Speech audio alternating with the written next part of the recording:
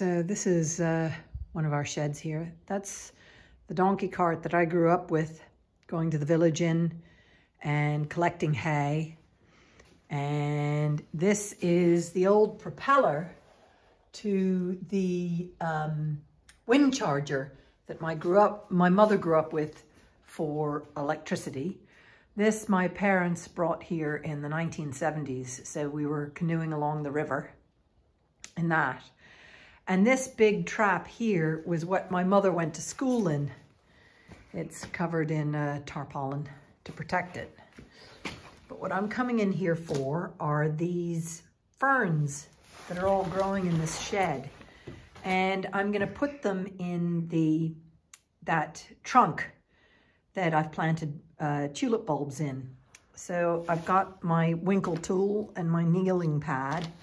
So I can winkle out these. There's three different ferns. There's this kind of fern, these tongue-like ferns, and then those tiny ones back there. And you can see there's loads more in here. This was the uh, top of my grandfather, my great-grandfather's small um, carriage, if you will. Uh, it's tiny, and we had it as a playhouse as a child.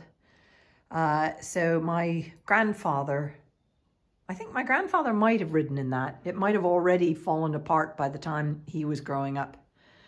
But um, yeah, so those are some of the vehicles that we have in here. So the canoe, the old wind charger, wooden blade, the donkey cart, my mother's trap she went to school in, and um, I'm going to be here digging up some ferns.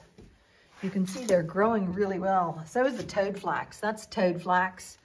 And then these are the ferns. But I love the, look at the ferns in this. This is the old, you can see the padded edges. Very, very um, falling apart. So that's what I'm going to be doing now is um, winkling some of these ferns out. So that is now planted with the tulip bulbs. And these are what I dug out of the shed. And there's at least three varieties of ferns here. And I think they're going to look beautiful. I have them on my kneeling pad. I brought them out on a tray. Isn't they just glorious? Anyway, no, please, can I do this without your help? You're not to dig in this, okay?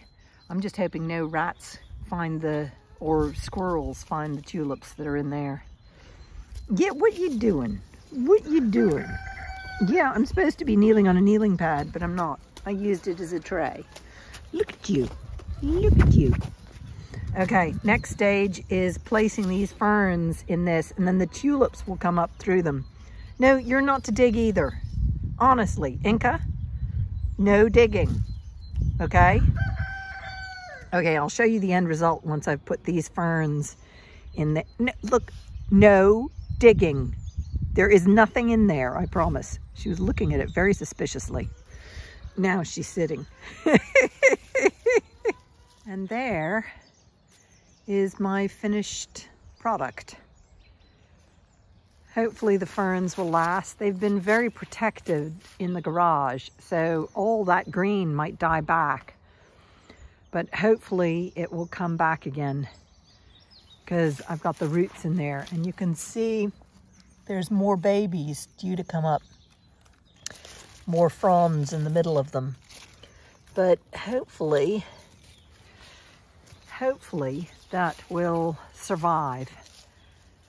Well, it'll look nice for a little while anyway. And uh, all that was, was a little bit of labor and some assistance. Isn't that right, Inca? And hopefully nothing will dig out the bulbs or dig out my ferns. I think it looks lovely.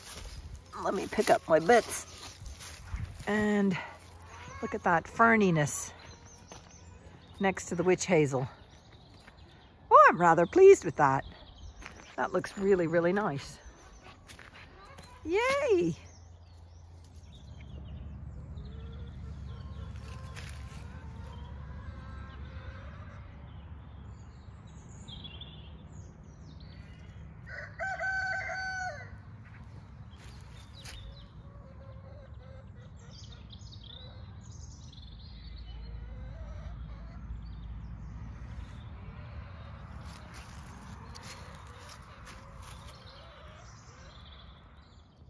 Well, I'm afraid I was indulgent.